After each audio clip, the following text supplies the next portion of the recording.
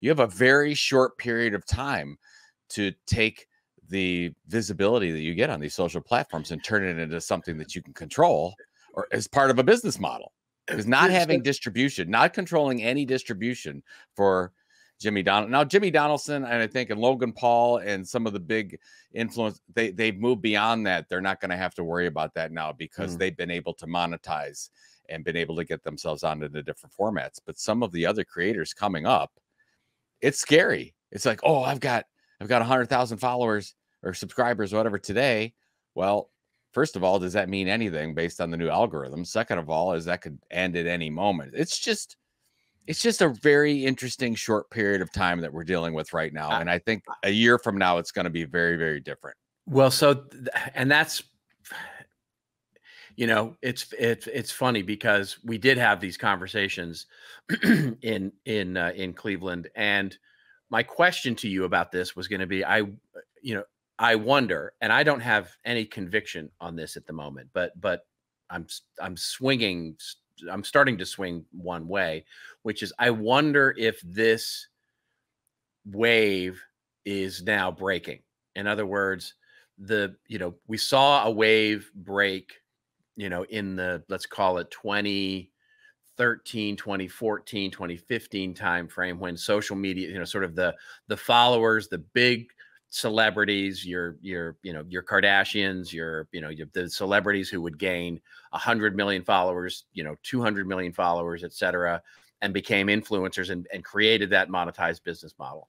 And what has yep. been over the last call it ten years, and it's it's just an easier number to remember, has been sort of the rise of the big audience, but organically grown from scratch from a kid in Tennessee or, you know, or Mr. Beast or somebody like that.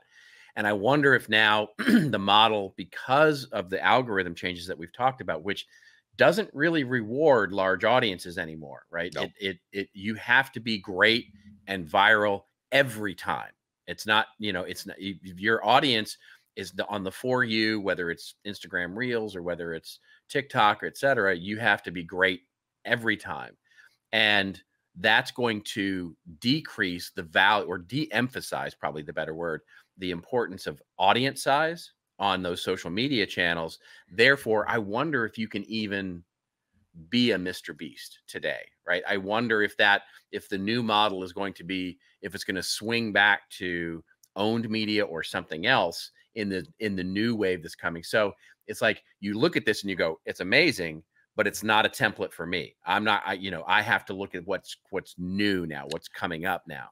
I think that's really important. If you if you take take Mr. take Jimmy Donaldson, the, we were yeah. talking about, and you move it three years, whatever, either, and you're saying, okay, deal Mr. Beast in 2019, 2020 has to deal with today's algorithm.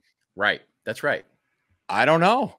You're right because it doesn't matter. I can go. I can just as easily, you know, create a amazing piece of content on TikTok and get almost the same favorability as Mr. Beast. Right. Depending on how the algorithm's feeling that day. That's right. So it's it's it's very yeah. I, I think you're right. I think it's you're post- going to see a you're going to see a lot of 15 minutes. You're going to see yeah. a ton of. We're all talking about the same thing uh, for oh two to three days and Shorter then there's a whole nother yep. thing sweeping where you see it and you're going to see it on tiktok and instagram and snap simultaneously because everybody's talking oh my god did you see the thing? Did you see the what's up brother thing and sketch doing the thing? And he was on the nfl uh, draft and, and then all of a sudden you're not going to hear that anymore